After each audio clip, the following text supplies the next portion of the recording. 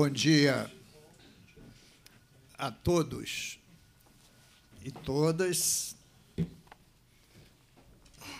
Às 10 horas e 15 minutos. 9.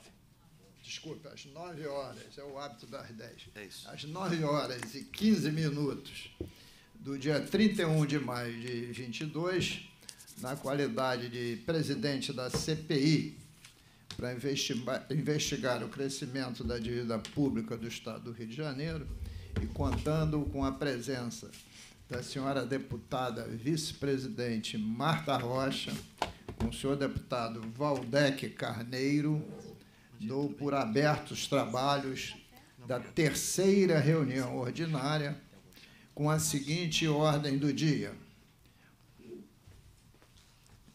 receber e ouvir os representantes do Tribunal de Contas do Estado do Rio de Janeiro, senhores Ney Ferreira da Silva, coordenador da Auditoria de Contas de Governo, e o senhor Fernando Graça Clautal de Araújo, servidor da Coordenadoria de Auditoria, de, da Auditoria Financeira, exatamente sobre as auditorias já feitas e tudo mais que diz respeito ao crescimento da nossa dívida pública. Antes, queria registrar a presença do Fernando Lopes, representando aqui a assessoria fiscal, do Dante Tomás, representando a nossa Procuradoria da Alerj, o Rodrigo Leles, representando a FOSPERG,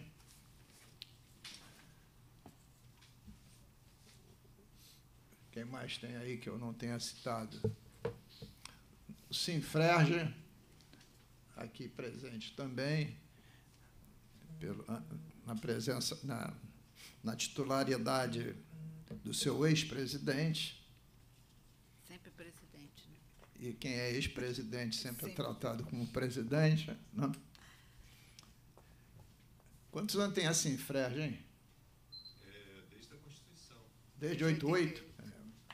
Então, é bastante, bastante longeva, bastante longeva. Bom, registrado aqui as presenças, deputado Rodrigo Amorim, nosso relator, está com Covid e por isso não está aqui, vai assistir a nossa reunião pela TV Alerge e qualquer questão que ele queira levantar, ele vai se comunicar comigo aqui pelo meu zap. Então, estou saudando também o deputado Rodrigo Amorim, relator.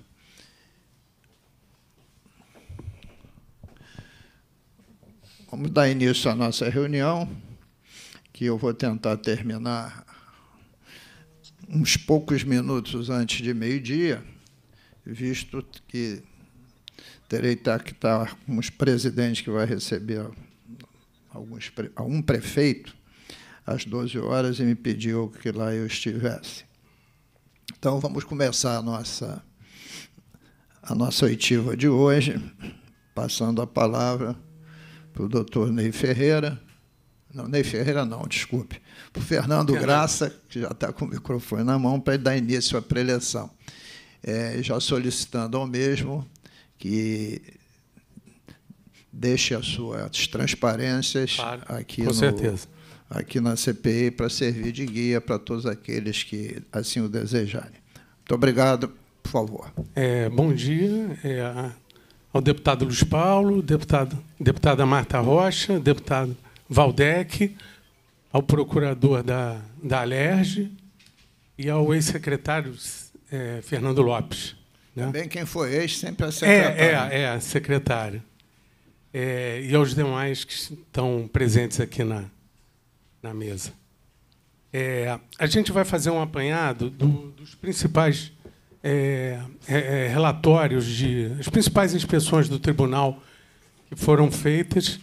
É, é um resumo. Qualquer dúvida ou é, os senhores têm acesso, vão ter acesso aos documentos de trabalho ou ao próprio relatório no seu inteiro teor, inteiro.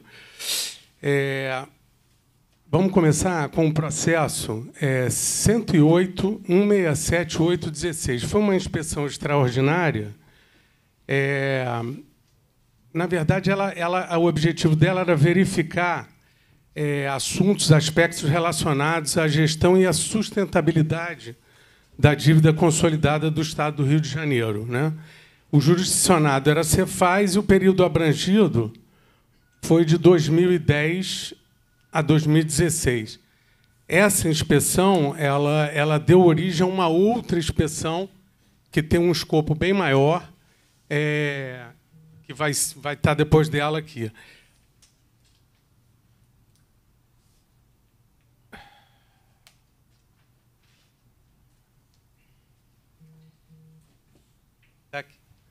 É, as questões investigadas e achados dessa inspeção extraordinária. É, a questão 1 um seria: os controles aplicados sobre a dívida pública consolidada são eficazes? E a segunda questão da, da, do relatório seria: a dívida consolidada do Estado é sustentável? Então, como resultado dos trabalhos, é, foram encontrados os seguintes achados. A trajetória do endividamento do Estado não é sustentável.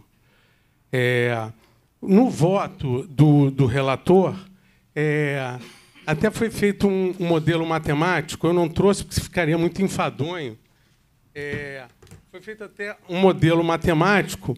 É, como todo modelo matemático tem as suas limitações, porque tem premissas, né? E, mas foi feito por um economista está no, no voto do relator. E ele mostra que a dívida é insustentável.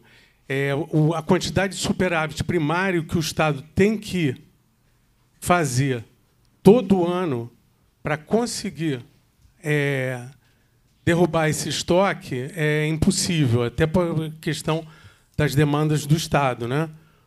A Constituição de 88 deu deu muita despesa para o Estado e não tanta receita. A gente tem. É uma questão, acho que importante fazer um, um, um parêntese aqui. É, a nossa, a, as atribuições dos estados na Constituição de 88, como a questão de segurança, educação, a questão de saúde, a questão penitenciária, é toda intensiva em mão de obra. Ou seja, são, por mais que você informatize é, essas áreas, você precisa de equipamento, elas são intensivas em mão de obra. Então, o, o Estado sempre tem uma demanda é, por reposição salarial de, de, de, carreiras com essa importância. Né? Então, é, é difícil para o Estado é, gerar esse superávit primário, gerar superávites primários gigantes para a gente poder é, diminuir o estoque da dívida. Né? Fora outros problemas que a gente vai ver. É, o segundo achado foram os recursos captados nas operações de crédito são aplicados em finalidade diversa à autorização legal. A gente vai ver esse achado com mais calma na próxima inspeção que eu vou mostrar. Por enquanto, a gente vai ficar aí. Mas, basicamente, é, é, basicamente, isso se trata é, tanto não, não, não, não havia no contrato, não há no contrato, nem na lei autorizativa que liberar as operações de crédito, previsão para amortização de dívida. É, e isso a gente vai mostrar mais tarde que, que é, é, não é bom para o endividamento. Né? é, não comprovação da aplicação dos recursos na finalidade contratada. Recursos financiados no longo prazo são aplicados em projetos de curto prazo. Vou dar um exemplo aqui desse achado 4. É, é, pegar um empréstimo de 20 anos, um financiamento de 20 anos, para é, um investimento que tem vida de 5. Vamos dar um exemplo do asfalto borracha de cinco em cinco anos, é, esse você tem que refazer o investimento. Então, é importante você casar o tempo de financiamento com o tempo do investimento também, né? Senão você vai ter que investir daqui a cinco anos é, novamente e você ainda vai estar pagando, vai pegar outro empréstimo, mas você ainda vai estar pagando o financiamento daquele primeiro investimento. E um, um, um caso é, típico é do, do asfalto borracha que está até na, na, é, na, na, no relatório. Né? E falta de publicidade em relação aos fatos que afetam o endividamento estadual. É, esse achado, a gente, como essa inspeção é de 2016, houve uma evolução brutal na, na transparência. Hoje em dia, no site da, da Secretaria de Fazenda, isso foi uma, memória, uma melhora muito boa. A gente tem até é, um rol de todos os, os, contratos em PDF que estão em vigência. É, é, sempre pode melhorar, né? mas, em comparação com o passado, o site está tá moderno e, e, mais bem atualizado. Né? Bom, é, na questão do voto, é, eu vou pular para a parte principal, que é, que é o item 8 do voto, é, que diz o seguinte. Aqui para. Não vai ser difícil ler, né? No finalzinho ali. Não é difícil ler, é impossível. é, mas eu vou ler. Prometo que é o, é o único, eu acho que é o. Não, dá para eu ler aqui. É, prometo que é o único, eu acho que é o único slide que está ilegível. é, realização de inspeção especial para análise e, e apuração de forma concreta e específica das operações de crédito inquinadas de desvio de finalidade, conforme apontado na fundamentação desse voto. No referido processo, deverá ser solicitado à CEObras o envio da documentação comprobatória dos investimentos efetuados é, com recursos do Procidade, incluindo os registros contábeis da operação. Então, vamos lá. Agora a gente está partindo para é, a inspeção de, de 2018, a 115.775. Essa aí, que a 2016, derivou na do, de 2018, é 18, é, é. Deveria ser inspeção especial, mas ela saiu como inspeção extraordinária. Ok. Tá? O jurisdicionado foi é, Cefaz e Ceobras. O período abrangido foi 2010 a 2017, que foi o período é, das novas contratações, né, é, feitas pelo, pelo governo à época, e as questões investigadas e os achados da auditoria. É, é nessa, nesse relatório, quer dizer, nessa apresentação, aqui eu vou. É, ele ficou um pouquinho maior, porque eu vou apresentar números em relação às amortizações de dívida. A questão 1, feita pela auditoria. Ah, eu sempre esqueço aqui porque. é, os recursos das operações de crédito, objetos da auditoria, foram aplicados de acordo com as, com as respectivas leis autorizativas e os recursos do Procidades 2 foram aplicados conforme sua matriz de investimentos definida em contrato e, como resultado do trabalho, foram identificados os seguintes achados: aplicação em finalidade diversa da prevista em lei, recursos provenientes de financiamentos concedidos por instituição financeira. E dois, aplicação em finalidade diversa da prevista em contrato, recursos provenientes de financiamento concedidos por instituições financeiras.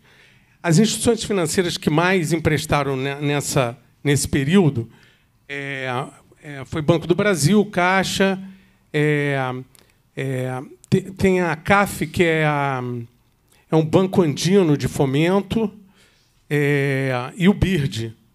O BID também. O BIRD é, é, o Banco Mundial, através dos DPLs, né, que a gente vai ver aqui mais na frente, é, foram os principais né, instituições que emprestaram ao Estado.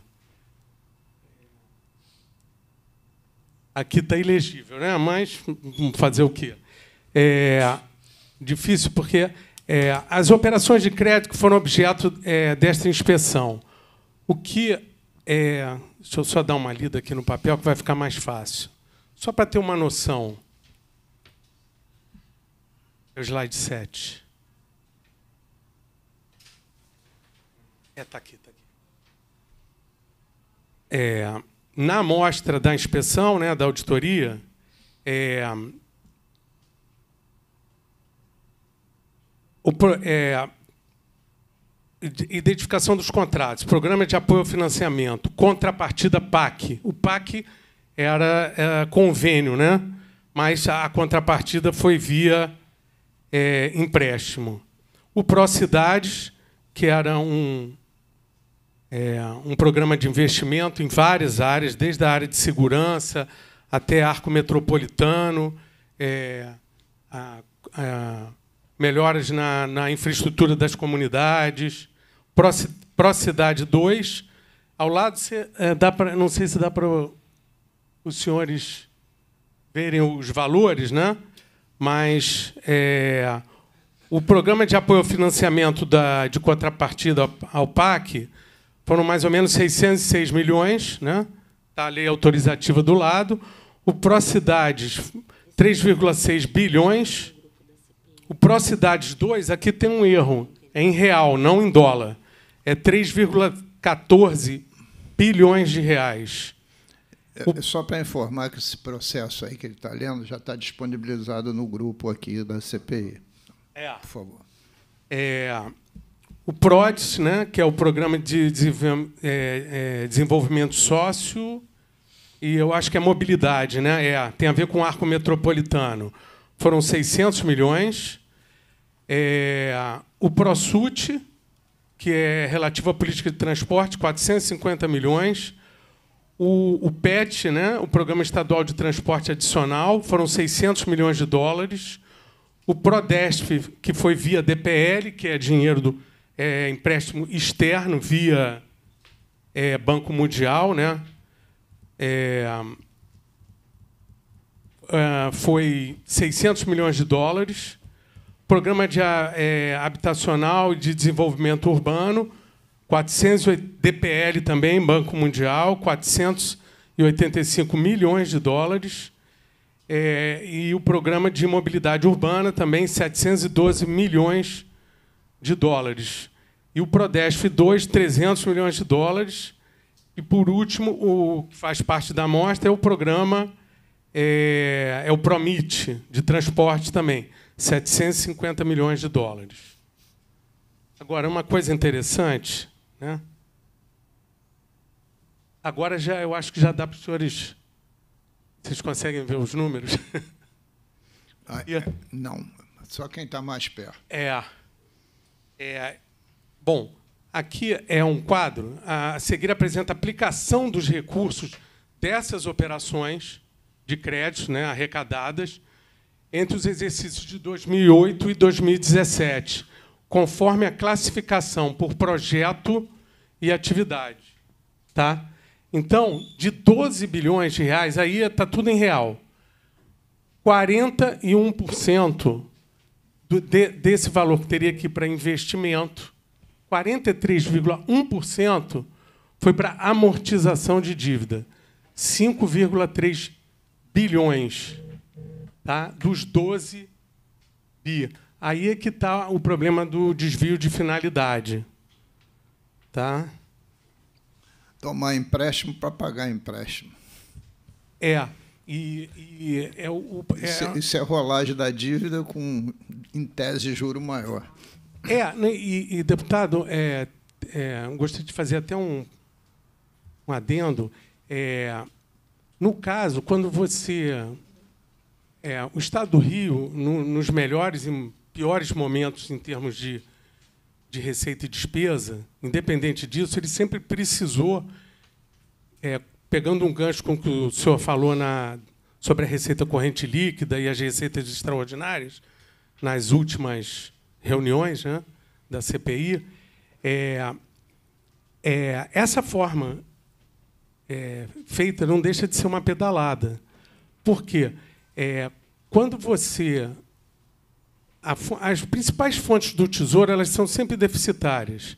A 100, a antiga 00, a 01, que agora é 101, é, elas são, terminam o ano, receita arrecadada menos a despesa empenhada, elas são negativas. O que, que acontece? É, você, ao longo do ano, naquela época, você estava com dinheiro do Tesouro de, de livre aplicação alocada em amortização de dívida. Né? É, quando você recebeu esse dinheiro de empréstimo, você é, deu uma, você trocou a fonte, você dá uma limpada na fonte.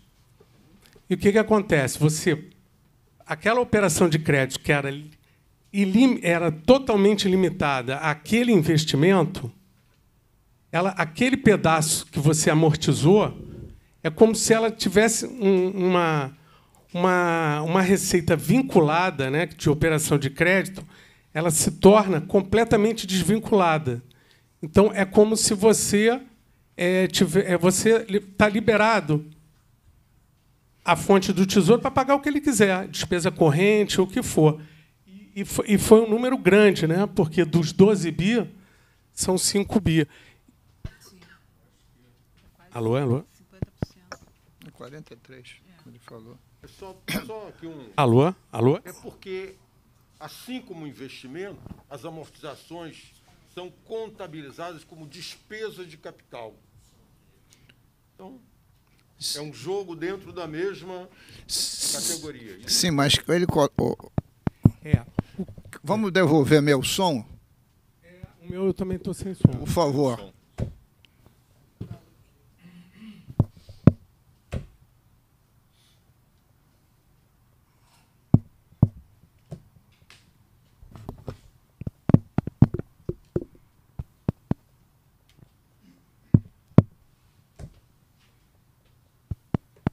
Ei, ei, ei.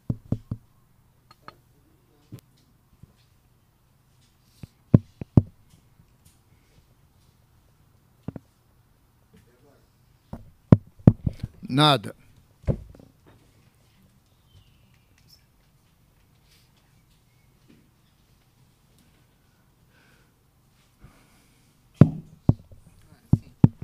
Nada.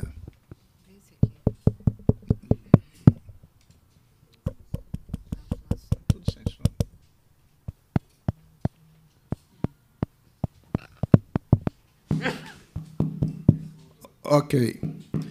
O, deixa eu aqui fazer aqui um adendo. Apesar de, tecnicamente, né, as despesas estarem classificadas em despesas correntes e despesas de capital, a questão central, que claro que a amortização é despesa de capital. Só que tem que o empréstimo quando vem a autorização legislativa, ele tem um objeto específico, um programa específico. Se você usa esse dinheiro para pagar amortização, inclusive de outros empréstimos, independente da classificação, o desvio de finalidade é claro. Até porque, cá entre nós, é, é falsear a verdade em relação ao projeto original que tramita na Assembleia. Porque não vem escrito, eu vou tomar, eu quero autorização para tomar um empréstimo X para pagar a dívida Y. Não está escrito isso. Se tivesse escrito, a gente pode concordar com mérito ou não, mas não teria desvio de finalidade. Porque seria um absurdo, um absurdo. A gente está lutando hoje para que os investimentos não entrem no teto de gasto né? e a gente achar que tomar empréstimo para amortizar a dívida vai alavancar desenvolvimento econômico e social do Estado, porque não vai. É, é exatamente ao contramão do objetivo dessa CPI. Então, é. só quero dizer que é, eu, eu considero que isso é, de fato, uma pedalada, como também verifico, isso a gente já citou em reuniões anteriores, que, como está tudo relacionado à receita corrente líquida, a receita corrente líquida muitas vezes foi devidamente manipulada para ser maior do que a receita corrente líquida efetiva. Né? E mais grave é isso. Né? O Senado aprova e o Tesouro Nacional, quando se trata de contrato externo, que tem que ter autorização, também aprova. Quer dizer, fica todo mundo homologando a mesma pedalada. E no caso do, dos DPLs do Banco Mundial, é, não só acho que do DPL, os empréstimos externos, de uma maneira geral, eles davam anos, alguns anos de carência, de três a cinco anos, e é, é como se dizer, uma pedalada, né? uma tremenda pedalada que você. É, porque, no fundo, no fundo também não... você está contraindo dívida para o outro governo pagar, né?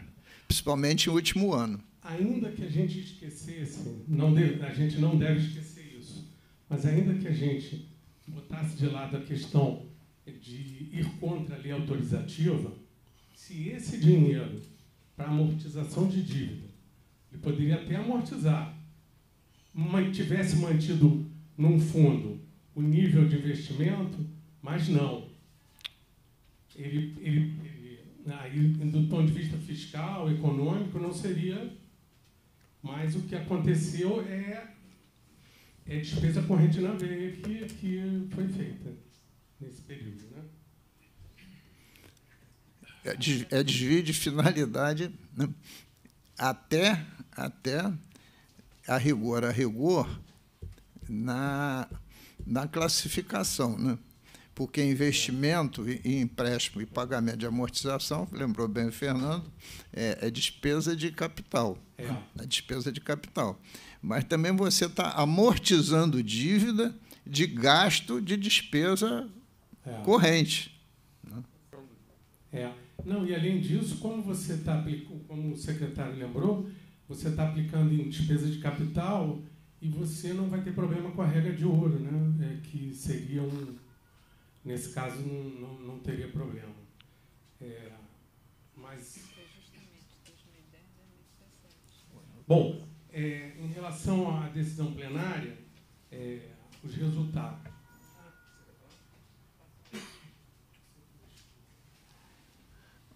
É, em relação à, à, decisão plenária, esse processo ele teve o voto, primeiro voto, com notificação né, ele notificou os, os secretários, os, os, governadores. Né, a notificação é, do ex-governador Sérgio Cabral é, por ter autorizado pagamento de amortização de dívida com operações de crédito em desacordo com a lei autorizativa, no valor de 4 bi. Né?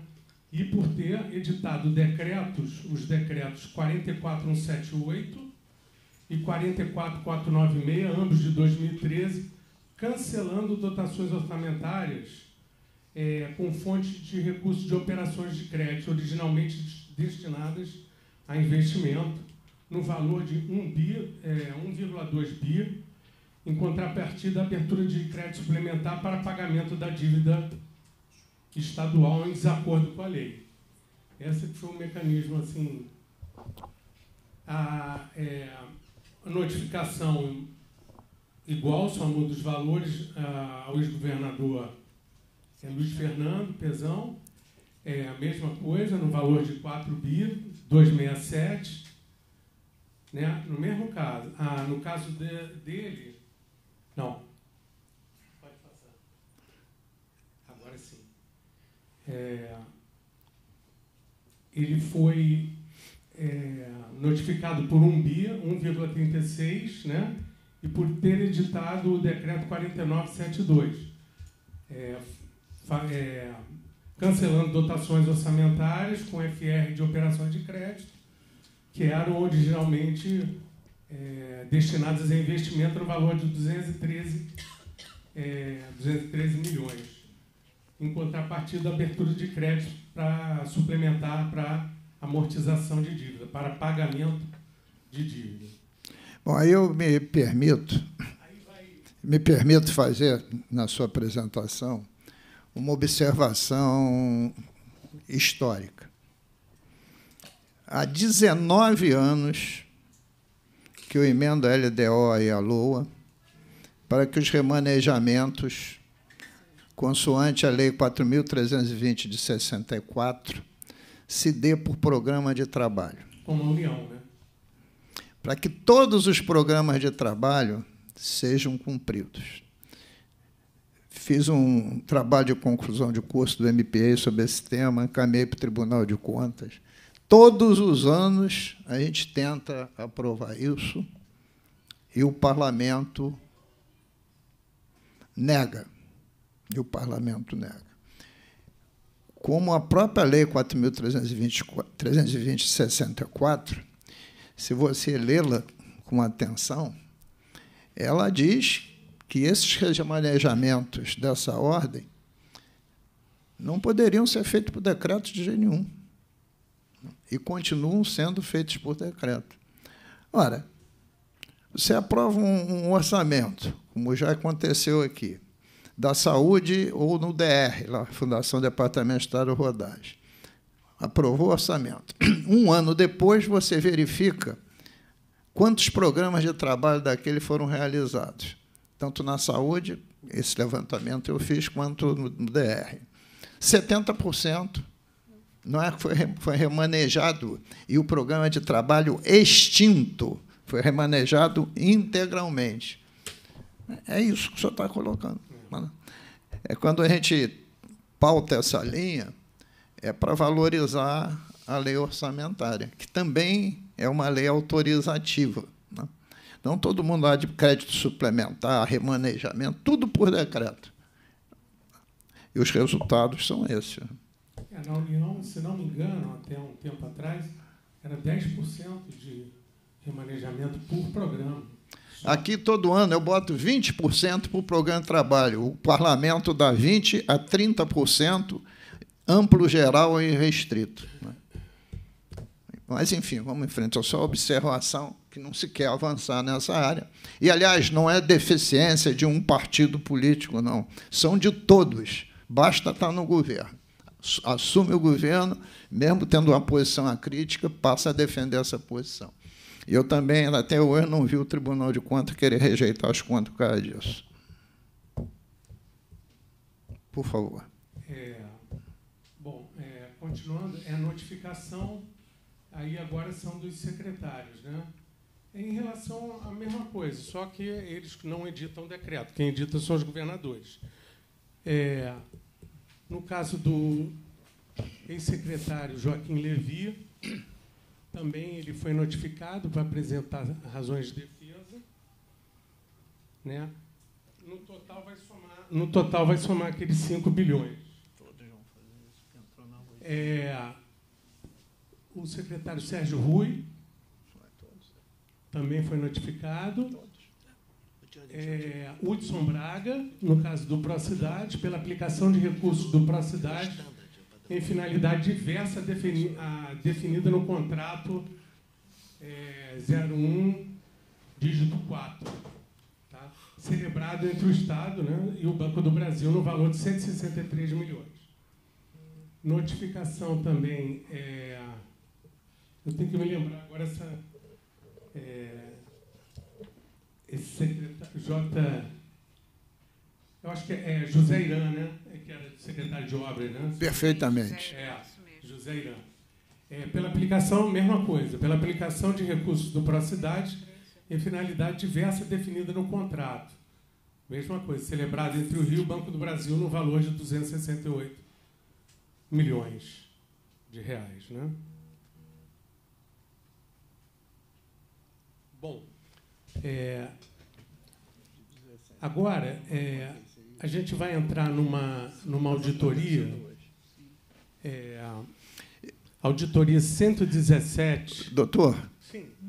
eu desejava que o senhor aprofundasse mais uma das questões que o senhor deu assim a tese, falou na fórmula, mas que para nós aqui é fundamental. O senhor perguntou lá na primeira inspeção a seguinte questão: o senhor não, o tribunal. A dívida consolidada é sustentável? Aí o senhor afirmou que não, porque se acumula. Né? é, teria que se acumular é, superávites primários significativos, insuficiente é, para fazer o pagamento do principal da dívida. E o senhor teria feito isso no período até 2016. E aí vem a questão. O senhor disse que usou uma metodologia matemática É, que o tribunal É, fez fixando determinados conceitos. É, o superávit primário de 17, 18, 19 foram superávites primários ainda muito ruins, muito ruins. De 19 para cá eles começaram é, a melhorar. né? Então aí vem a questão. E tem projeções de superávit primário, pelo menos projeções, para os próximos nove anos, nesse novo contrato de empréstimo.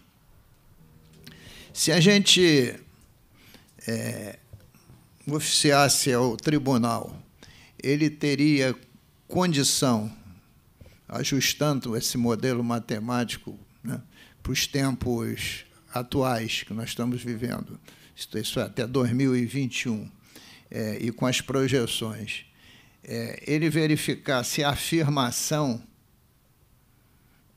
de que a dívida consolidada é insustentável, daria para simular isso? Eu, eu- eu acredito que sim. É, é, na verdade, o, o modelo ele, ele, ele tem uma projeção é, com base em três cenários. É um modelo simples, matemático, levando em consideração a taxa de juros real, o esforço de, na feitura do, do, é, do, superávit, do superávit primário né? É, e do PIB. Né? É, é, um, é um modelo simples, mas que é, demonstra, é, quer dizer, é uma coisa teórica, né? É um, é um- mas isso poderia ser, ser demonstrado aqui, Nós- nós não tem vamos- problema. Então, nós vamos oficiar o Tribunal de Contas, porque não dá para nós, parlamentares, pelo menos os que estão aqui e outros, a gente afirmar e sabe que é verdade, e temos dito isso, pelo menos eu e Valdec e Marta Rocha, se- seguidamente, que essa dívida é impagável. É o mínimo que a gente fala, a dívida é impagável. Mas é necessário demonstrar. Fundamental. Né? É, o, o modelo está no voto Sim, do, do conselheiro Marco Antônio Alencar, foi Sim, um mas, é, assessor dele. que mas é, é, é, é- é- Porque o, o senhor falou que foi no período até 17. é, mas é, 17 não vai ter desvio de finalidade, porque entrou o velho regime. Se não pagou dívida, não teve desvio de finalidade. Não está tendo desvio de finalidade até agora. Mas aconteceram fenômenos extraordinários, né? quer seja por causa da pandemia, a invasão da Rússia na Ucrânia, a disparada do barril, etc., etc. Né? É, o pagamento, em, parte, é, do restos a pagar, né? É, a prescrição, que restos a pagar prescreve, né? Prescrição depois de cinco anos do restos a pagar, enfim, isso tudo dá um cenário um pouquinho diferente, talvez para melhor, de 2017 a 2021. Por isso, essa preocupação com, com essa projeção nessa afirmação para 2021, para não ficar uma coisa. É, na verdade, o modelo ele tem a previsão Pois é, para então. frente. E ele pode ser até remodelado. E, Tá bem, então vamos fazer esse ofício pedindo a colaboração do tribunal. É, em relação a- ao que está constante no processo, né? Isso. Por favor, Fernanda. É, quer dizer, é, esse modelo certamente ele trabalha com composições é, de cenários variados. Não é? O- Sim. Juros num determinado patamar e é, e as outras variáveis É, o juro É, real ele, ele simula- entra como variável é, independente, né? A dependente Sim, sim, é, sim. Sim, na, enfim, você pode trabalhar com diferentes composições de todos eles. Agora, é importante também é, se é, ter uma projeção compatível com, com cada caso, dos juros especialmente, é, do conjunto, do principal bloco de despesas.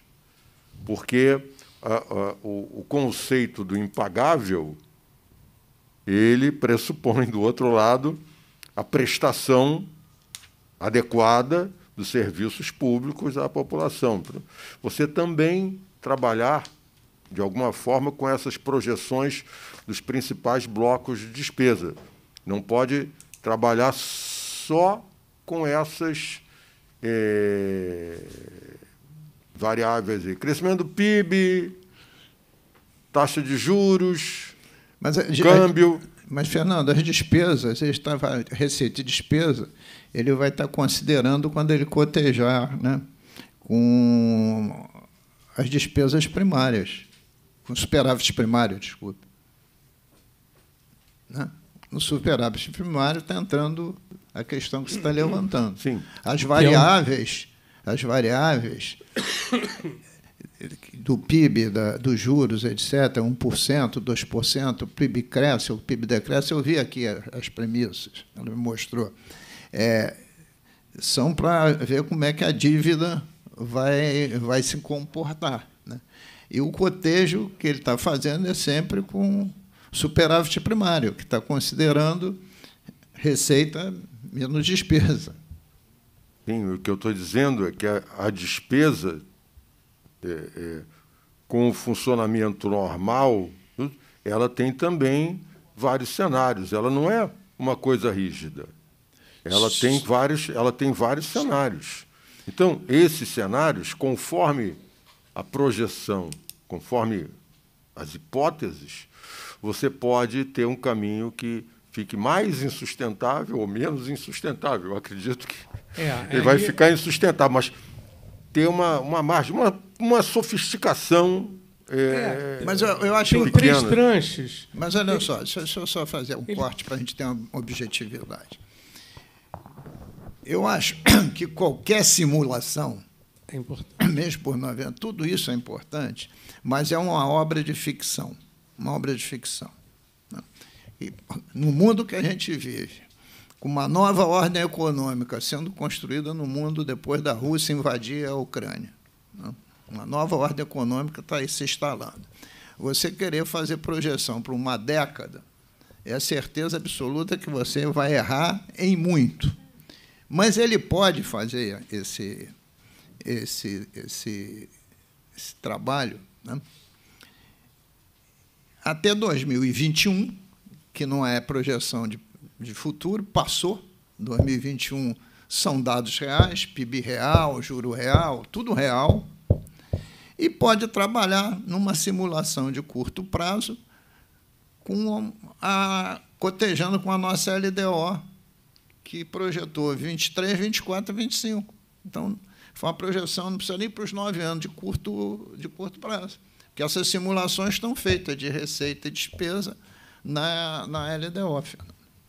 E aí, é, nesse, nesse cenário, até a aprovação na casa da LDO, a dívida tá é possível de se pagar ou ela é impagável? Eu vou achar, mesmo com esse crescimento, vou achar impagável. Mas eu estou dizendo que essa simulação é interessante porque a União bateu o recorde de arrecadação.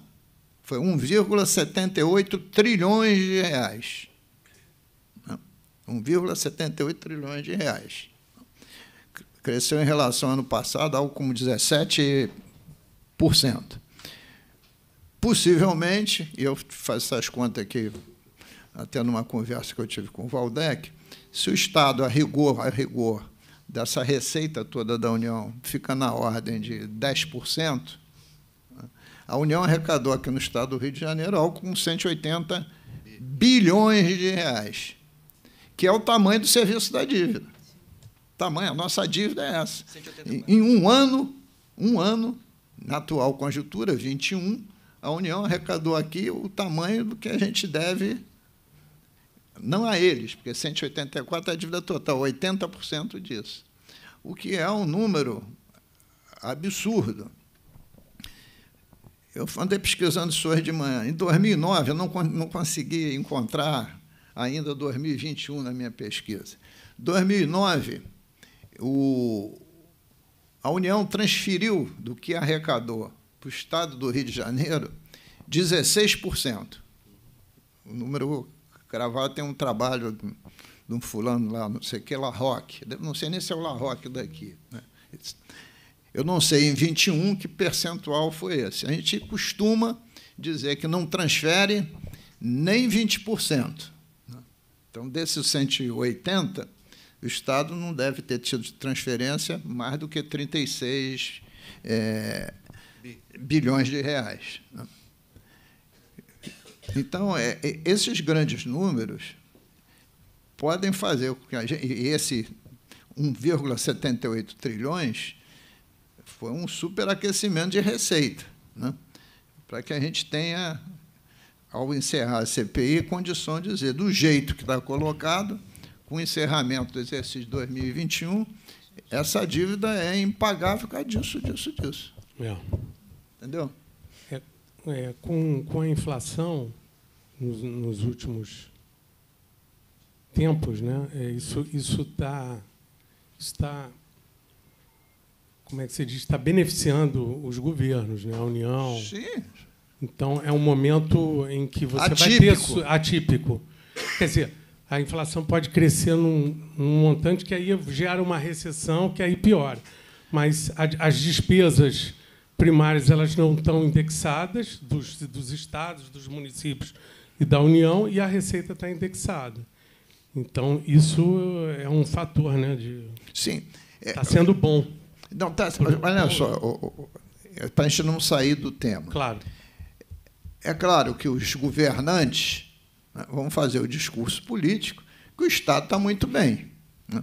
Não tem, um, não tem outra SEDAI para vender. Acabou a SEDAI. Né?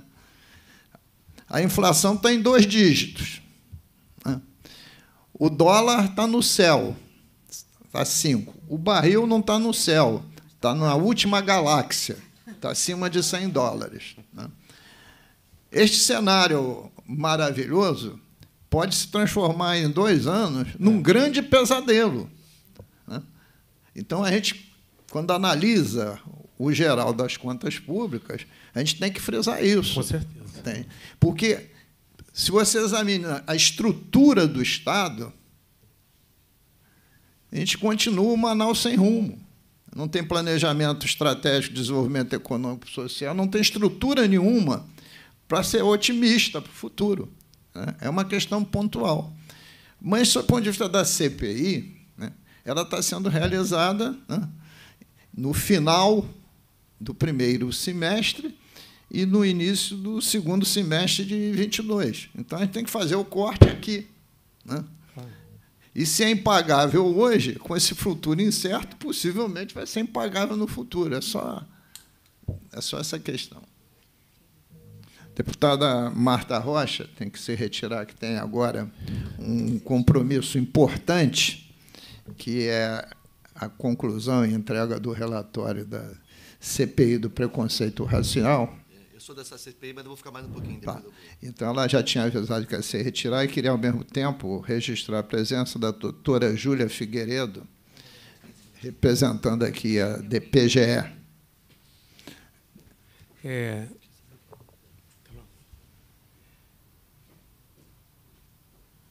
Cotação do, do barril hoje. Brent. Brent. 120 dólares. Uhum. É isso. É. Por favor.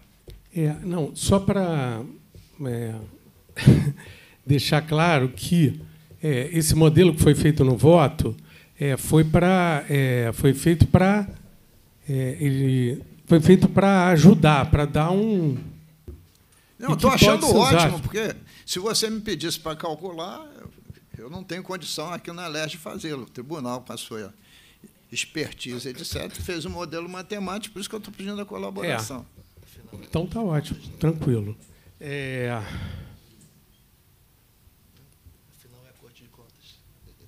Bom, agora a gente passou.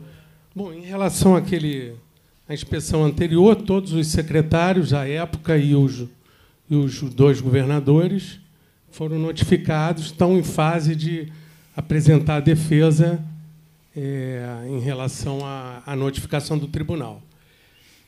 É, a próxima inspeção é aquela que a gente estava é, conversando, é objetivo, é a 117.2419, de 18, né? auditoria de conformidade.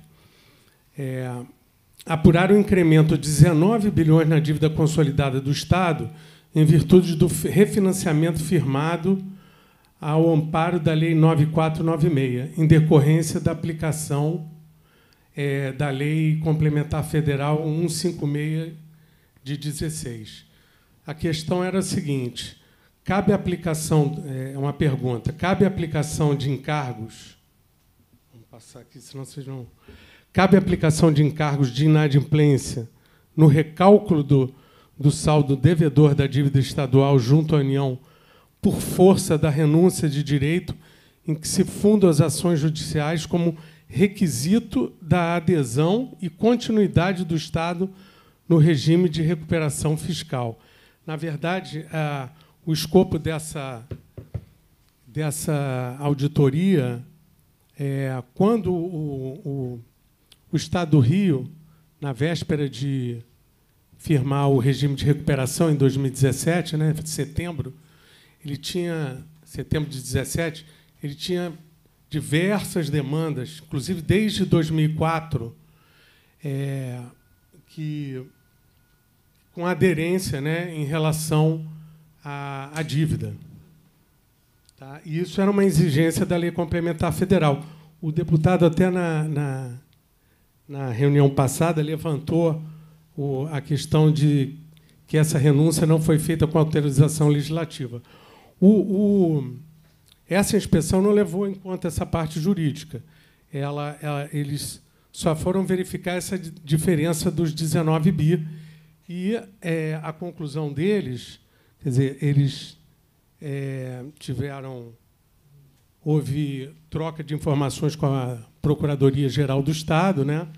É, e na conclusão é, o tribunal houve concordância com o parecer da douta PGE no sentido de que o recálculo do contrato sob exame, né, efetuado quando já se havia homologado o PRF do Estado, praticado com encargos de inadimplência, não encontra acolhida legal, de maneira que a Cefaz deve, deve a Cefaz adotar as providências recomendadas pela PGE com o intento de que o saldo da dívida reflita adequadamente os ditames legais. Bom, naquela época, quando o Estado do Rio aceitou abrir mão das demandas, é, o, o, Estado do Rio foi surpreendido porque é, os valores que ele estava que ele estava devendo por conta das liminares, né, é, o, o Tesouro Nacional usou juros de inadimplente, que era uma coisa muito pesada e não e na verdade o que se quer usar só o que o Estado do Rio não tudo bem, a gente não pagou. Até a questão da base, né, da é, Receita Líquida Real em relação a, ao Fundo de Combate à Pobreza, é uma das demandas. Né? Então, é, recalculando com uma base maior, é, deixou-se de pagar muita coisa. Só que não, não, não deveria ser com é, valores de juros, de mora, de, de inadimplência. Né? E isso está sendo resolvido agora nessa lei de 21, a lei complementar. Ah, isso aí, o, o, doutor Fernando. Fernando, é um dos maiores absurdos que eu já vi acontecer. Isto chama-se coação. O tesouro chegou para o Estado botou a faca no pescoço do Estado do Rio de Janeiro e disse assim: Você abre mão de todas as suas demandas judiciais ou não entra no regime. Aí ele abriu mão e o processo judicial que estava no Supremo perdeu o objeto. Isso, além de estar, no meu entendimento, tipificado na parte criminal, isso quebra o pacto federativo. Né? Então, isso iria cair. Isso iria cair. Porque se o Estado entrou no regime de recuperação fiscal, ele está adimplente. Senão, não tem regime, ele não está inadimplente. Inadimplente ele estaria se não tivesse o regime, ele está adimplente. Aí, a benesse do Tesouro, com a lei, vai ser calcular a correção monetária e mais 4, que vai ser o IPCA mais 4. Quando, na verdade, tinha que só corrigir o IPCA, não tinha que ter nem mais 4. O que o Estado vai fazer também é um erro. A minha, meu interesse nesse, nesse processo, e já anotar aí, é que eu quero o cálculo de quanto esses 19 bi vai se transformar, considerando o Estado adimplente. É o que o Estado vai acumular na dívida. Mas eu quero saber quanto é o Estado corrigindo o IPCA sem os quatro de juro. Porque esse devia ser o critério para os três e para os próximos nove anos. Você está entendendo? É essa que é a questão. Mas essa, essa, simulação a Secretaria de Fazenda, o Tesouro, faz fácil. Sim, eu vou. É só trocar o. O indexador. É. Sim, sempre, não, vou pedir lá, vai deixar. Até porque estão calculando isso para o próprio regime. Não está no estoque, no, isso está no estoque da dívida. Por favor. Bom, chegamos à, à última inspeção, é, um adendo aqui. O tribunal passou, a partir de 2019, a fazer auditoria financeira, contábil, é, para dar um parecer sobre o balanço patrimonial do Estado. É, isso é uma coisa nova nos tribunais de contas, mas o TCU faz há 10 anos, né? até por conta de exigência do, do Banco Mundial. É, é, quando dos empréstimos, ele, ele, ele, ele, eles começaram a demandar é, uma auditagem na, no balanço, da, balanço geral da União. E assim eles estudaram e começaram a, a trabalhar nisso, é, e há 10 anos vem fazendo, e o Tribunal de Contas do Estado está é, tá há três anos já, formou o pessoal, né? fizemos curso no TCU, e essa é a terceira auditoria financeira. É, e o Estado recebeu parecer adverso nos três anos, né? por conta de diversos pontos. É, um dos achados da auditoria de 2021, a 106883, é, foi em relação a, é, um dos achados foi, quer dizer, é, você atuou em, em, em diversos contas do Estado eu trouxe aqui a relativa a empréstimos e financiamentos. Né? Então, a, o parecer do tribunal, no geral, foi parecer adverso.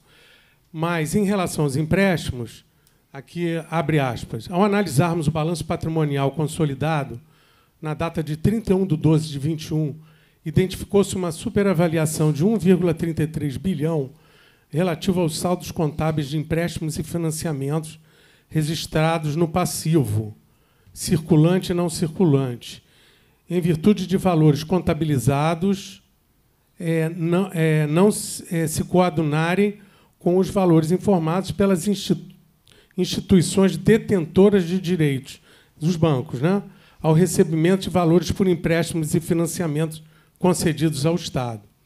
Além disso, foram identificados erros de classificação na, na apropriação de despesas financeiras com juros sobre a, a dívida de empréstimo e financiamento, no montante de 2,47 bilhões, que, embora não tenham causado distorção nos saldos do passivo do Estado, do Rio, né, afetaram diretamente a qualidade da informação para efeito de tomada de decisão e para efeito de apuração do resultado nominal nos demonstrativos fiscais. Bom, é, essa diferença, primeiro, de 1,33 bi, é, é, foi feito é, uma circularização, o tribunal mandou carta para todas as instituições credoras, incluindo, incluindo o Tesouro Nacional, e dizendo em 31 do 12 quanto que vocês são credores e quanto que a gente, o Estado está devendo.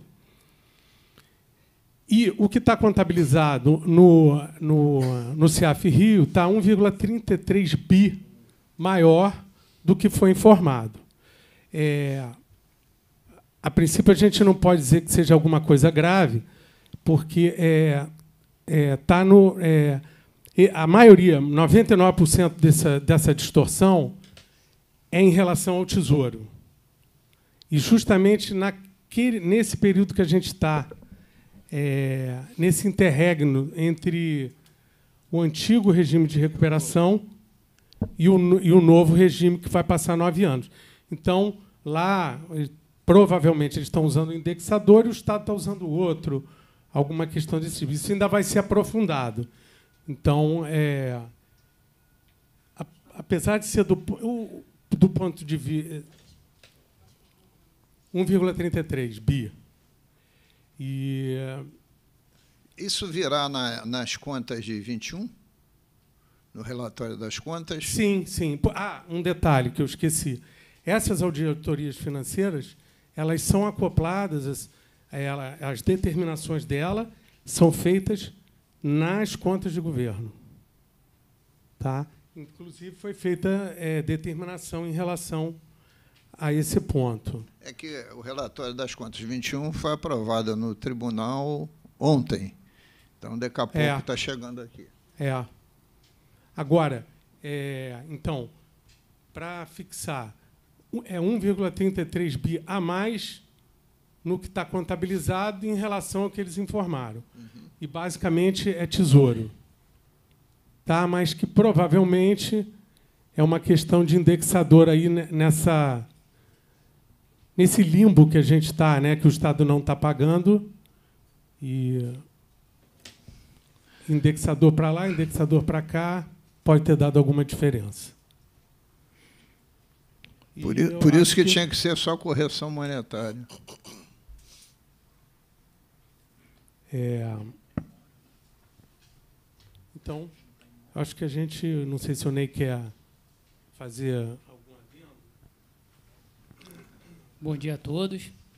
É, eu queria só tecer alguns comentários em relação aqui a uma parte mais específica da atuação da dívida, para chamar a atenção para outro ponto de vista.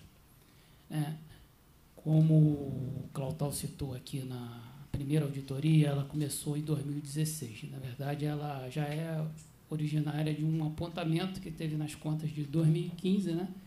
já apontando para, no ano de 2016, o possível estouro da dívida em relação ao limite que está previsto lá na na resolução do Senado Federal.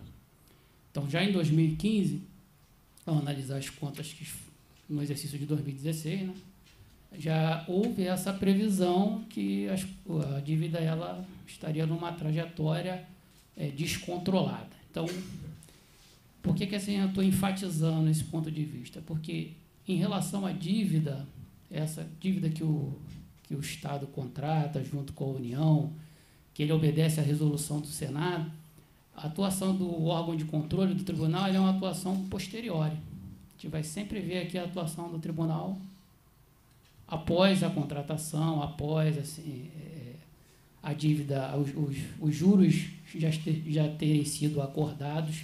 Né? Presume-se que uma, um, uma operação de crédito que, que seja aprovada pelo Congresso para os estados, ela tem interesse público, então assim, a questão dos juros a gente nem entra nessa discussão, numa análise. É, E o Tribunal de Contas do, do Estado ele fica sempre a posteriori.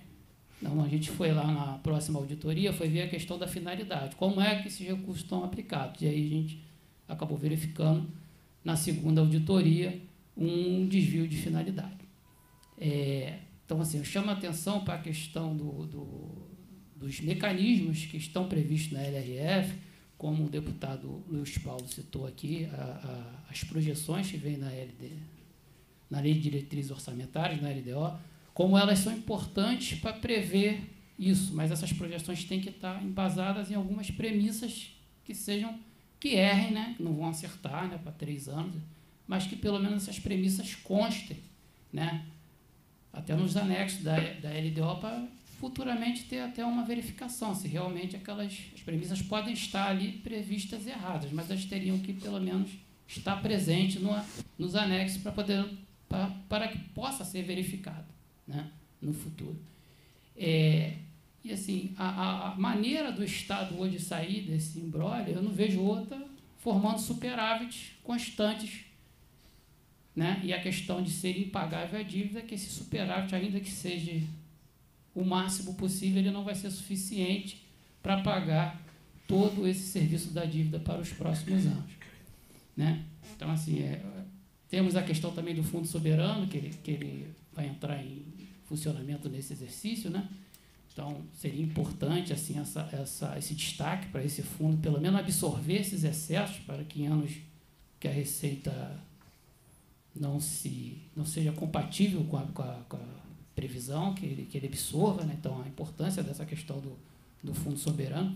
Uma questão que eu acho que também o Fernando até passou batido aqui foi a questão da 2015, quando foi visto essa, esse pagamento da dívida com desvio de finalidade, ele pagou a dívida externa, um pouco da dívida externa, mas ele pagou muito da dívida interna, também com aqueles recursos que foram contratados.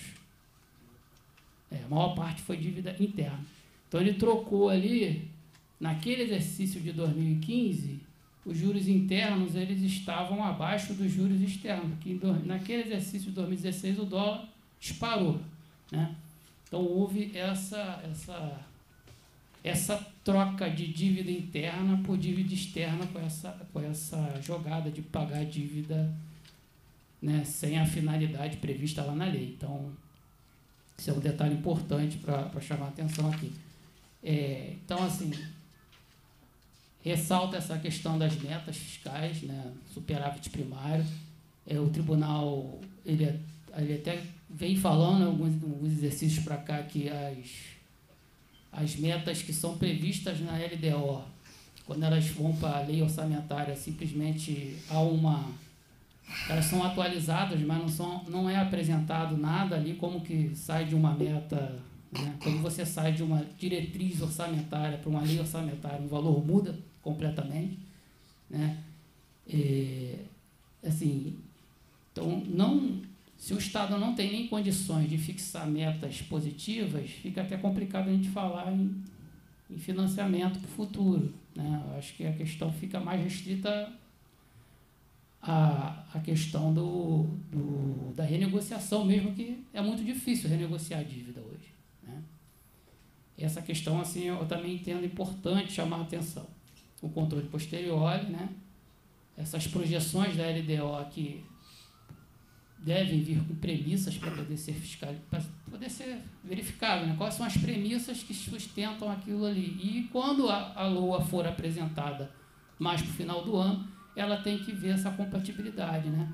A gente sempre aponta lá nas contas, nos últimos três exercícios, que não há essa. essa há uma, um, todo um trabalho técnico na LDO, que a gente reclama das premissas que não são apresentadas, mas tem um trabalho técnico. Agora, na LOA, isso nem aparece. Como é que chega, como é que sai de uma. uma um, como é que você disturba ali uma, um, uma diretriz orçamentária que, na verdade, tem que orientar a LOA? Né? É uma questão também interessante. É, Deixa eu ver se faltou alguma coisa, medidas de Em relação aqui à auditoria financeira também, a gente chama atenção aqui para a questão da, além dessa dívida de 1,33 bilhão, que a auditoria, uma super avaliação, né? A dívida estaria no Estado maior do que estaria para os bancos credores. Então a gente chama atenção aqui para a questão da, da operação Delaware, que ela também não consta na dívida do Estado, tá? Ela é uma operação que a Fazenda, até hoje, ela não entende como dívida. Então, se a operação Delaware estivesse hoje contabilizada dentro da, do Estado como dívida, provavelmente a dívida consolidada do Estado ela não teria cumprido o limite de 2% da RCL no final de 2021. É justamente sobre isso. Convém, só, eu vou passar Claro. para o Odeco, só convém assinalar que a operação Delaware deriva, deriva de uma, vamos botar a palavra, recomendação do governo federal de fazer esse tipo de operação. Era ministro da Fazenda, o atual secretário de Fazenda de São Paulo, como é que é o nome dele mesmo? Henrique Meirelles. Eu me lembro que a gente aqui reclamou muito no parlamento como é que recomendava uma operação dessa, que seria uma operação profundamente negativa, iria comprometer decisivamente as receitas do Rio Previdência, visto que o Rio Previdência gasta aproximadamente, ou fica aproximadamente, com 85% das receitas de royalties de participação especial. Houve ano que a entrada de royalties EPE no Rio Previdência foi negativa. O Tesouro teve que suportar toda a diferença, só assinalando. É, como o governo federal incentivou esse tipo de, de operação. Deputado Valdec, por favor. Mas justamente estava aqui nos meus apontamentos a questão da operação Delaware. Mas antes eu queria só, e vou chegar lá, mas perguntar o seguinte: pelos eh, slides iniciais, eh, duas perguntas, eh, Fernando, eram matriciais. Né? Primeiro, se os controles aplicados sobre a dívida eram eficazes, né? e se a dívida consolidada era eh, sustentável. Né? A conclusão a que vocês chegaram, é, a, em resposta a essas duas interrogações, é que não era, a dívida não é sustentável e que esses controles não eram eficazes. Eu queria que você falasse um pouco mais sobre a eficácia dos controles e de que maneira eles poderiam ser mais eficazes. É, é, como a superintendente na, na semana passada, ela comentou, o deputado, eu não sei qual foi o deputado que fez a pergunta em relação ao sistema de acompanhamento de dívida, que é o SOC, né? É um nome diferente, eu acho que é SAC, SOC, Qual alguma coisa assim. É isso? É. E é, o, o- o tribunal já fez diversas inspeções, isso já no passado, é, em relação a esses controles, em relação ao sistema. E, é, como ela mesmo falou, muita coisa é acompanhada por a planilha Excel. E o que não é o ideal. O ideal é você ter o sistema trabalhando é, é, com todas as variáveis lá certas, porque é mais garantido. Então, é, a questão do controle é mais isso. É esse é você ter um sistema com algumas falhas, o sistema é, não está é, é, ele- no momento ele ainda não está atualizado pelas novas questões das leis, ela mesma falou, e, e acompanhamento por planilha Excel, que é um, é um, é um instrumento potente, mas ele, em termos de controle, ele não é, não é o ideal, né? Aí, qual foi a segunda pergunta, deputado? E, e essa questão vai estar na auditoria, né, que você levantou. Os controles são bons. É, eu, eu, Pois é. po- eu- eu posso, na próxima reunião, dar detalhes É do, justamente. do que, que ele. Porque é, Porque é- é- a gente pode Quais ser uma exigência da CPI Exatamente para isso. que a Fazenda melhore os controles. Quais são os controles hoje adotados? Quais são as suas fragilidades? E que recomendações o TCE faz para que esses controles sejam mais eficazes? é, tem relação também até a prestação de contas né, do Procidades 2 em relação a, à Secretaria de Obras. Isso também é, teve alguma é, anotação do tribunal em relação a isso, que isso entra como no controle. Mas é, eu, eu, posso, na próxima reunião, dar uma aprofundada nisso. Tá. A, a outra. Most... Sim, Porque são muitas, são muitas inspeções e, e, e, aqui é só um apanhado, né? Aí ah. eu, eu achei mais importante. É, mas a gente. Eu gostaria de entender um pouco mais essa questão dos controles. Tá, é. tá certo. A, a, outra questão que eu queria levantar. Deixa eu só aqui, eu, ah, sim, só, claro. só de passar alguns números.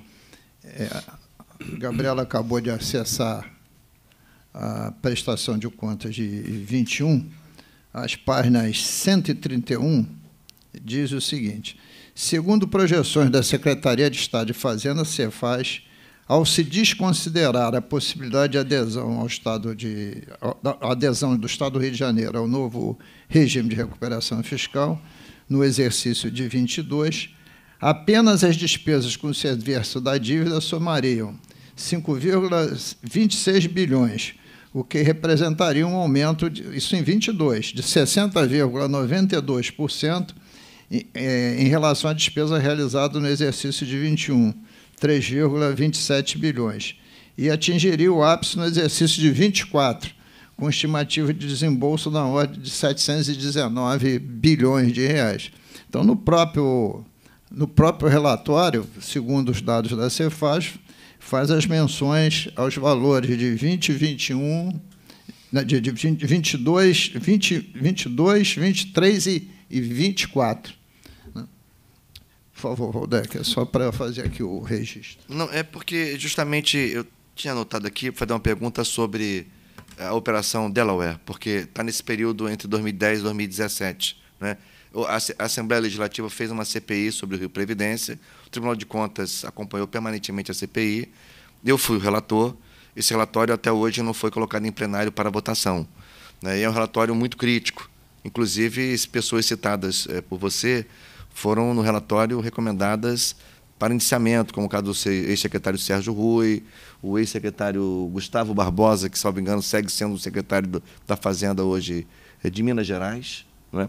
E eu queria entender o seguinte, porque, é, na verdade, essas operações, essa operação, a Delaware, que depois teve até uma reincidência em Luxemburgo, né, em 17 ou em 18, salvo engano, essas operações.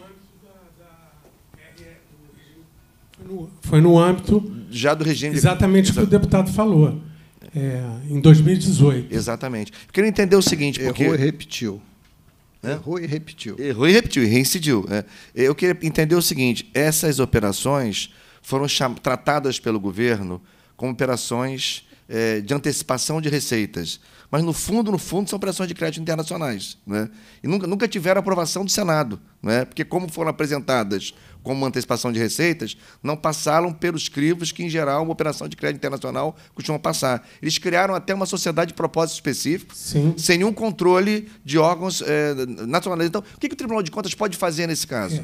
É, é, eu gostaria de falar. É, é, primeiro, o tribunal tem uma quantidade de inspeções em relação à Operação Delaware é, e já com voto em plenário. É... Fernando, nós estamos falando de uma das operações mais lesivas para as contas é, públicas do Rio de Janeiro. É, é Sem exagero. Com certeza. O, é, o, que eu gostaria de falar é o seguinte: a gente pode fazer esse levantamento, mas o tribunal ele tem diversas inspeções na área envolvendo essa antecipação de receita. Inclusive, já tem uma da, do waiver, que foi aquela fase. Isso, isso. Então, é, eu, muitos, muitos processos já têm decisão plenária, sim, com multas pesadas. E, em relação à operação Delaware, é, existe uma questão é, no Tesouro que é o seguinte: é, é, a antecipação, a venda de receita futura. Que nada mais é que uma antecipação de receita, Famoso aro. É. Ela, ela, o Tesouro, ela define se é operação de crédito ou não, dependendo das garantias e da segurança é, que o credor tem. Por exemplo, aquela antecipação lá de 99, com barril a 19, é, ela foi moldada. Foi 17. Uma, é. 17 Desculpa, o barril. de 99. O barril de 17. 17. 17. É, e que a gente acabou de pagar ano passado, né, que fazia uma barriga assim a, a tranche de pagamento. É, essa, essa operação foi considerada, é, ela não foi considerada operação de crédito, mas ela é. Por quê? Porque o credor, a União, se, to, é, se todos os, os, poços de petróleo tivessem afundado, é, o credor ele iria receber com base no FPE. Então, quando a garantia, quando você dá o máximo de garantia para o credor, ele fica sem risco nenhum. Isso é uma operação de crédito. Agora, quando eu não dou garantia nenhuma, eu antecipo royalties de petróleo com a União. E a União não tem garantia nenhuma. Nenhuma. É, os postos de petróleo todos afundaram. O credor, a União, vai ficar sem receber. Essa é a diferença. Aí, isso não é operação de crédito. A operação Delaware, ela está no meio, na minha opinião, ela está no meio do caminho, mais para operação de crédito. Sem porque dúvida. foram dadas Muitas várias garantias. garantias, Muitas garantias. que você pode caracterizar como operação de crédito. Além do mais, as duas empresas que foram criadas, elas são consideradas empresas estatais dependentes, porque é dinheiro de royalties. O tribunal tem uma, uma inspeção falando sobre tudo isso. Nessa operação Delaware, é, é, é muita informação, muita coisa que o tribunal tem. Eu queria aqui, antes de passar e abrir aqui para as perguntas, é, fazer uma consideração, doutor, doutor Fernando, sobre algo que o senhor falou que eu tenho discordância. E até porque sou engenheiro e de infraestrutura. Quando você dimensiona um pavimento, ele pode ser um pavimento flexível ou um pavimento rígido. Pavimento flexível é aquele que é asfáltico. Pavimento rígido é aquele que é em concreto cimento. Pavimento de concreto cimento não se utiliza mais no estado do Rio de Janeiro há algumas décadas, porque ele é um investimento muito caro. Você vai encontrar na subida do alto, em alguns trechos da Avenida Brasil, são pavimentos só de placa de concreto na ordem, é dimensionado de 25 centímetros. E você encontra também em alguns aeroportos. Fora disso, todos são flexíveis. Quando você vai dimensionar um pavimento flexível, isto é, hoje em dia de concreto asfáltico, né, porque pode ser outros tipos de, de revestimento flexível, pode ser com emulsão, pode ser com asfalto diluído, enfim. Mas em asfalto, você dimensiona, o pavimento tem subbase, base e revestimento, pavimento flexível. Cada uma tem uma espessura distinta você dimensiona a função da vida útil e do fluxo de veículos que vai passar projetado ao longo dessa vida útil. Fluxo de veículos é a composição do fluxo, porque as cargas pesadas, os caminhões, destrói mais o pavimento que as cargas leves. Em geral, a vida útil é 10 anos. E quando você vai fazer um recapeamento, que é nada mais, nada menos que um rejuvenescimento do pavimento, que você não vai baixando o pavimento inteiro, você vai botar uma sobrecapa. Em geral, é para rejuvenescer, e o senhor tem razão. Seja com borracha ou não borracha, a borracha é só a qualidade do ligante, é para mais, é para um, em tese, para rejuvenescer por mais cinco anos. Isso em rodovias, porque se for em logradouros públicos, vai depender do volume de ônibus, se chover nos pontos de ônibus, o asfalto embeiça todo, porque o asfalto não tem, não tem ponto de solidificação, ele sempre será plástico, ele não, não, não, é, não vira um material rígido, por isso que é um pavimento flexível. Então, dentro dessa premissa, dos empréstimos vintenários de, de pagamento, jamais ele poderia ser aplicado em rodovias. Então, essa premissa tem que ter uma certa ponderação né, em relação ao objeto. Por isso que eu queria chamar a atenção. É claro, os senhores são economistas, administradores. É, é como é que é, como diz o Touché, eu, sou, eu não sou engenheiro do Mas eu sou. não, eu sei. É, mas é, a questão, eu dei um exemplo, deve ter alguns. Esse foi uma opinião da inspeção, né, do, do em relação ao descasamento. É, é porque não, eu, de cabeça a, o asfalto a, a tese, a tese é válida. Nesse caso específico. O exemplo. É. Tá certo. O, o que eu acho um outro desvio de finalidade nessa área, e muitos aqui talvez não vão gostar do que eu vou dizer, é que se o Estado quer investir em infraestrutura, é justíssimo que o faça. Primeiro, investir na sua infraestrutura, isto é, da sua responsabilidade. Pegando essa área de rodovia. E na responsabilidade do Estado, ele tem mais de 6 mil quilômetros de rodovias estaduais. Aí você vai em algumas regiões do estado, essas rodovias, como diz lá no interior, é uma buraqueira só. Né? E às vezes, quando eu vou, eu tomo um susto de ver a qualidade.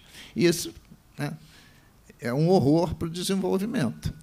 Aí o Estado deixa de fazer isso, e muitas vezes não cabe nem mais recapeamento, tem que recompor o pavimento inteiro, porque já destruiu a, a base, e às vezes até destruiu a subbase, porque o sistema de drenagem é ruim, e sai pavimentando rua, que não é a sua finalidade.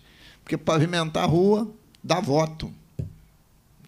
Dá mais voto do que recuperar as estradas rodoviárias. Aí é um grande desvio de finalidade. E muitas vezes até sem convênio como o solo municipal fosse terra de ninguém. Você pode entrar para fazer qualquer coisa. Aí tem um grande desvio de finalidade. Eu oficiei por uma outra comissão ao tribunal, exatamente arguindo se o Estado tem competência de fazer obras de características municipais sem convênio ou termo de cooperação assinado. É claro que eu sei a resposta, mas arguí ao tribunal e a douta Procuradoria-Geral do Estado também. Então, queria fazer essa observação e agora franquear a palavra a quem assim o desejar. Fosperde, por favor. Primeiro, bom dia a todos. Saudar aqui o presidente deputado Luiz Paulo, Fernando Lopes, quem sou admirador, Ante, doutora Júlia, e a excelente apresentação do Tribunal de Contas. É, nós do Fosperd, a gente está com uma parceria, está até o Paulo aqui, né? Na outra reunião falou da auditoria da dívida cidadã e tal.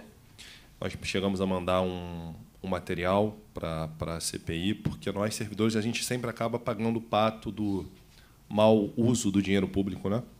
No final, é sempre cortado, sempre colocado o servidor como grande culpado do gasto público e a, o, toda e qualquer renegociação da dívida passa por sangrar já o salário do servidor, que não vem desde 2014, né, a gente não tinha recebido nenhuma recomposição. Tivemos agora, por intermédio da casa, de Paulo, André Ciliano, tantos outros deputados conseguiram esse acordo né, é, de uma recomposição inflacionária parcial em três anos. Então, a gente gostaria de, na próxima reunião, poder apresentar. Ontem nós discutimos até numa, numa live a perversidade do sistema de dívida pública, para a gente também dar a nossa visão aqui de servidor, com dados técnicos, né, já que estamos muito bem assessorados. E aí, na próxima reunião, ou na, na, assim que possível, a gente ter um pouquinho mais de tempo para apresentar, se o presidente permitir. Bom, evidentemente que eu vou submeter ao pleno da CPI, da minha parte, Zero de problema, zero de problema.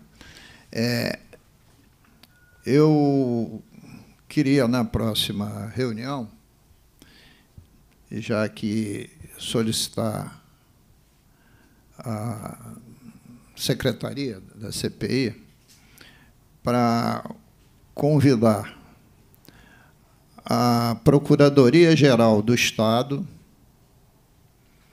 a Procuradoria-Geral da Alerj, formalmente, apesar do procurador estar aqui, Dante Tomás, né? e a Procuradoria-Geral do Estado não está aqui. Né? É a terceira reunião que ela está ausente, ou a segunda, né? para abordar os aspectos tanto do 19 bilhões, né, para ser sintético, a questão dos juros, cobrança de juros do, como fôssemos inadimplentes, abordar a questão de, nos períodos de regime da justeza de se cobrar só a correção monetária, não os juros. Se a justeza no sentido de ter outras decisões, etc., etc. Né? E também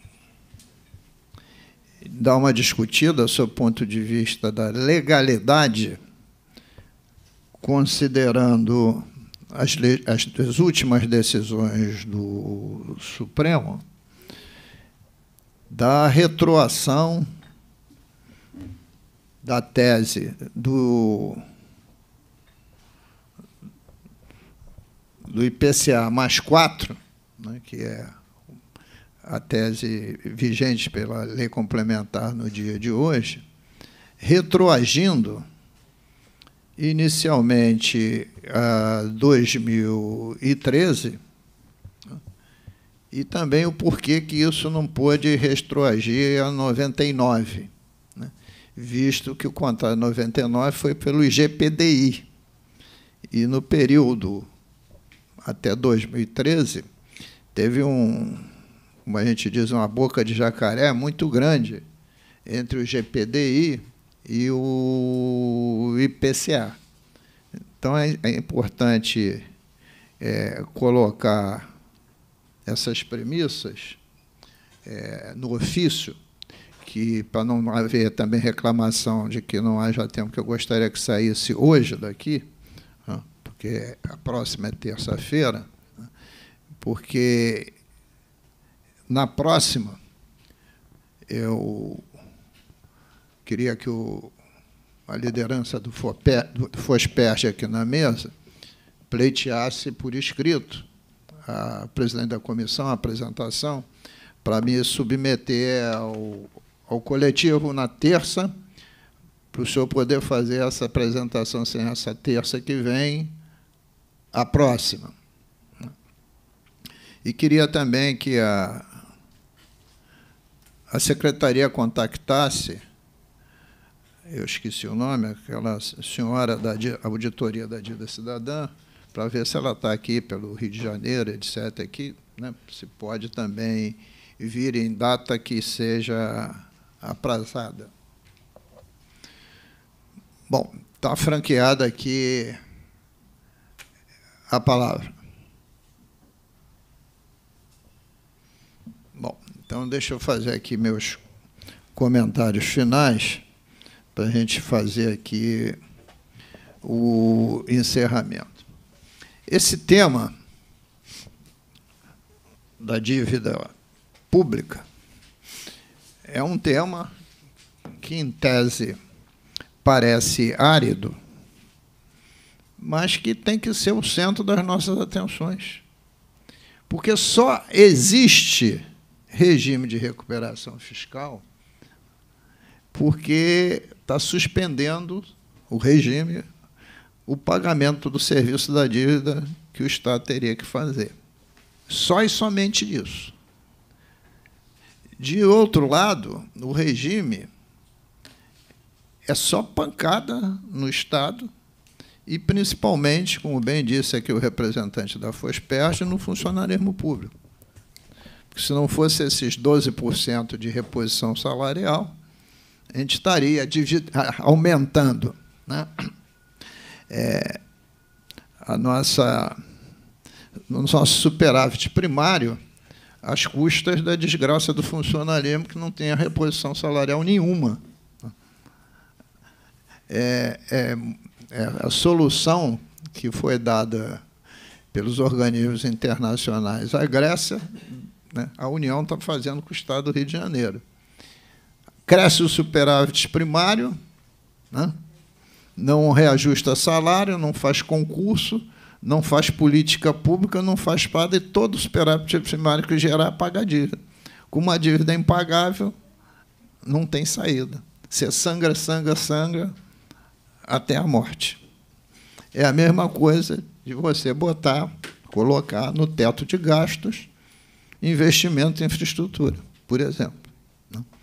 Como é que você aumenta a arrecadação? Como é que você tem um planejamento estratégico de desenvolvimento econômico e social, você não pode investir.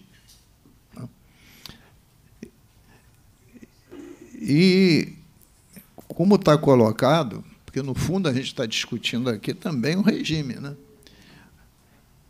Por mais bem feita que tenha sido as simulações, estão bem feitas para os próximos nove anos pela Secretaria de Fazenda, eu quero chegar ao número que nós, Fernando, iremos pagar mediante simulação, mediante simulação, tanto de PIB quanto de, de juro, de uma regra de amortização, etc., etc., que nós vamos chegar lá em 2031. E nós vamos chegar em 2031, provavelmente, os números vão confirmar isso, com uma situação total de inadimplência. Eu queria lembrar que o regime nasceu por quê? Né? Fora a má gestão, a corrupção, tirando tudo aquilo que a gente já sabe que é verdadeiro. Né? Mas a, a, o, o fluxo de caixa do Tesouro ele se desorganiza exatamente no momento que o Estado não tem dinheiro, nem aplicando esses esses desvios de função para pagar o serviço da dívida. Aí a União vem e faz arresto nas contas do Estado. Quando faz o arresto, acabou o fluxo de caixa. Acabando o fluxo de caixa, foi-se a garra. Né?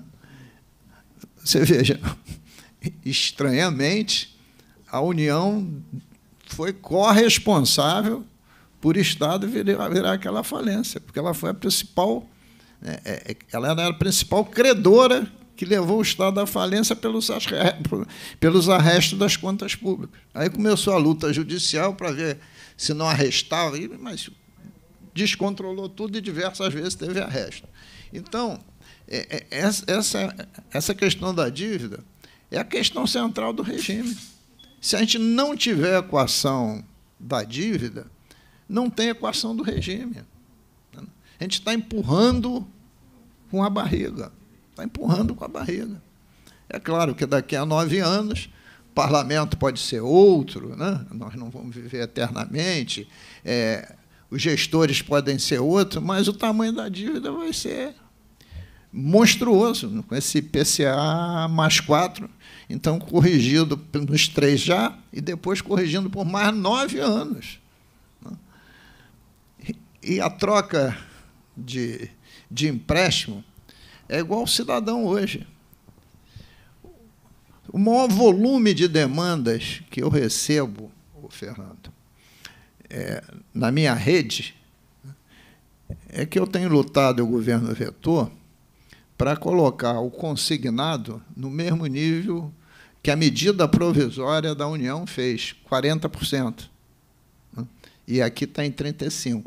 Por 5%, a mobilização do funcionário, funcionário público estadual é algo assim inimaginável.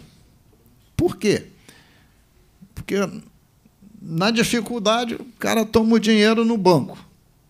O juro é exorbitante. Aí ele vai no consignado para pagar o banco.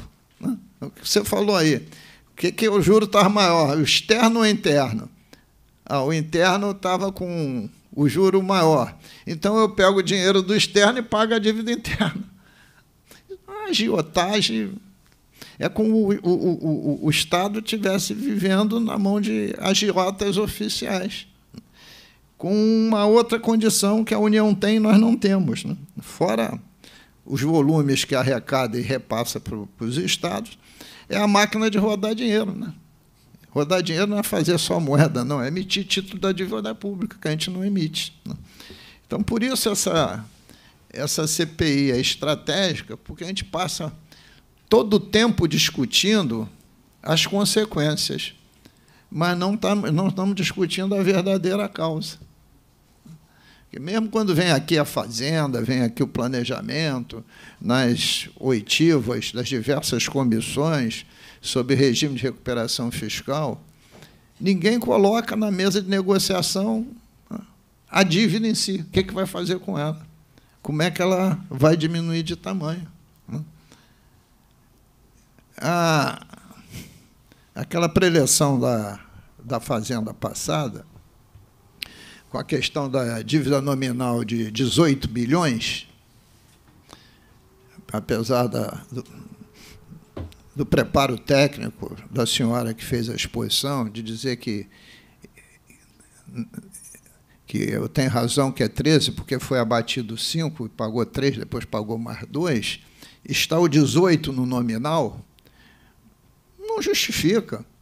Porque lá no contrato que está assinado, depois de ter, visto, é, é, ter havido os dois abatimentos, está escrito 13 bilhões. Isso, isso, isso afeta, claro que afeta, afeta na informação. Né? E, evidentemente, se na nossa está escrito 18 e se deve 73, e se na do Tesouro está escrito 13, e, aliás, na nossa está escrito 18, se deve é, 73, e no do Tesouro está escrito que se deve 13, está escrito 72 de saldo, né? alguma coisa está diferente. Talvez seja esse 1,32 bi. Né? Talvez possa ser, porque é mais ou menos a diferença entre o cálculo daqui com o cálculo do tesouro. E essas coisas não podem ficar, é, sob ponto de vista de documentos formais, que aquilo é, conspurga as análises quem está fazendo de fora, se não tiver esse detalhamento. Né? Então, eu, eu, é, eu queria deixar essas questões aqui levantadas, né? exatamente que é os objetivos que a gente está tá perseguindo, né? e acho que é hora também da gente trazer aqui os órgãos jurídicos, né? para que haja uma posição também jurídica com as decisões dos Supremos de primeira, segunda, o que, que o Supremo decidiu, o que, que decidiu o STJ, porque demanda sobre esse tema tem aos quilos no Brasil. Né? O Rio de Janeiro não é o único que que está nessa situação. Agora, sobre a operação Delaware, aí é uma condição típica do Estado do Rio de Janeiro. Né? Porque eu não tenho conhecimento de operação similar em outra unidade da federação, até porque ninguém tem um volume de ROT de participação especial que tem o Estado do Rio de Janeiro. E acho que também o relatório da CPI tem que botar em pauta e votar, pô votar o mais rápido possível, acabar com essa história e mandar para os órgãos técnicos apurar as devidas responsabilidades. Até porque CPI, a CPI levanta a hipótese das tipificações. Quem decide se as tipificações estão justas e vai haver a denúncia ou não é o Ministério Público e, evidentemente, o órgão de contas é que decide se as questões levantadas são verdadeiras ou não. A CPI precisa levantar. Ela levantou, bota para votar e vamos em frente. Né? Então, assim posto, damos por encerrada a nossa oitiva de hoje, agradecendo aos dois cavaleiros do Tribunal de Contas a apresentação, já solicitando que deixe a apresentação aqui para ser acessada por todos que desejarem, agradecendo a presença da Procuradoria da LERJ e da Defensoria Pública e da FOSPERJ, do SINFRERJ e da assessoria fiscal. E está encerrada a nossa reunião de hoje.